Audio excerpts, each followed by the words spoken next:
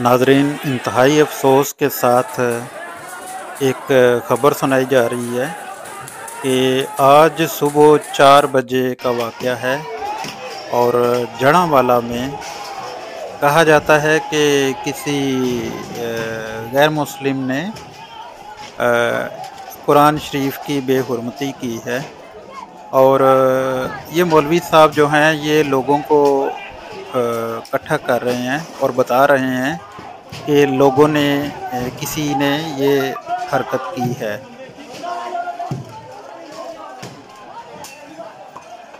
ਸੁਨੇ ਸਾਈਆਂ ਦੀ ਬਸਤੀ ਦੇ ਵਿੱਚੋਂ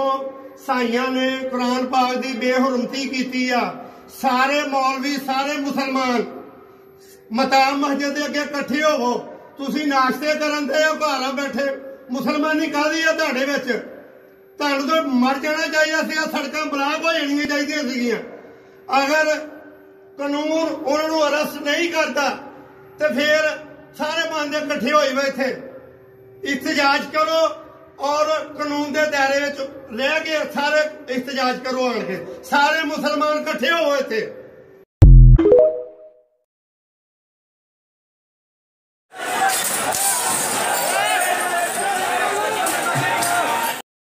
तो अजीज़ों दोस्तों कहने का मकसद ये है कि क्या कोई इतना ही बेवकूफ़ होगा कि वो ये सब कुछ करने के बाद अपनी उस पोस्टर के ऊपर फ़ोटो भी लगाए और उसके बाद अपना एड्रेस भी लिखे, अपना नाम भी लिखे कि ये काम मैंने किया है, क्या कोई इतना ही बेवकूफ़ होगा? ये एक सोचने की बात है।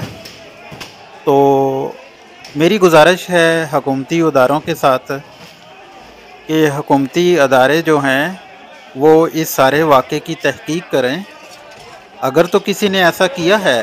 तो उसको करार वाकई सज़ा दी जाए। लेकिन इस वीडियो में, ये वीडियो आप देखें कि इस वीडियो में जो कुछ हो रहा है, क्या ये इंसानियत है या इंसानियत के ख़िलाफ़ हो रहा है? ये अभी हम सबको सोचने की ज़रूरत है। और मैं अपील करूँगा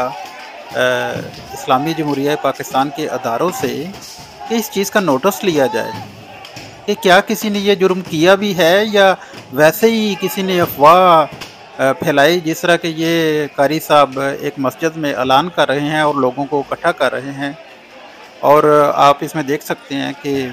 चार पाँच चर्चिज़ को तोड़ दिया गया है, बल्कि लोगों के घरों से भी सामान निकाल निकाल के उसको तोड़ा गया है और लोगों को भी जदोकोब किया गया है।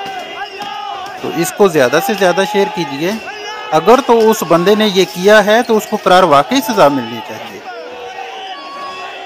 तो ये जिस तरह से हजूम इकट्ठा कर लिया गया, और लोगों को जदोकोब किया गया, और वहाँ पर जो कुछ हो रहा है, वो सभी आप इस वीडियो में अभी देख सकते हैं।